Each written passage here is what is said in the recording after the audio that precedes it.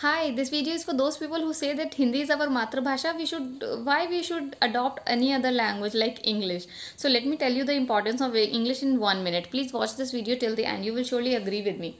Number one, there are many MNCs available MNCs available in India, and if you want to work with those MNCs, you must be good with your English. You must have good command over the language. Then only you can enter in that company as an employee or then only you will be able to communicate with them as well as with their clients number second if you go to the hospital schools or any public places like bank you need english. Sometimes people start conversation in english and if that time you don't speak english it feels somewhere embarrassing. I don't know whether you are going to admit this thing or not but it may embarrassing because i also embarrassed many times.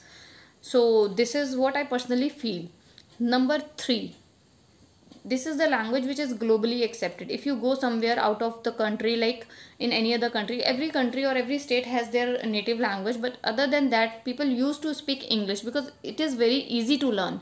This is the most easiest language. When you go for the interview even in the indian companies the interview will be conducted in english only. Why is it happen? Because somewhere at some point of time they also have to communicate with the another people with the another country. So you must be able to converse. Until you communicate you will not be able to trade with the companies situated in other countries.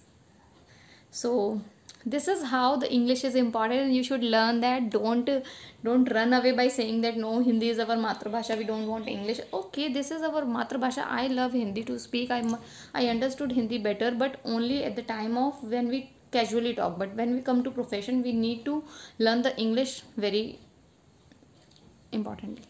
Bye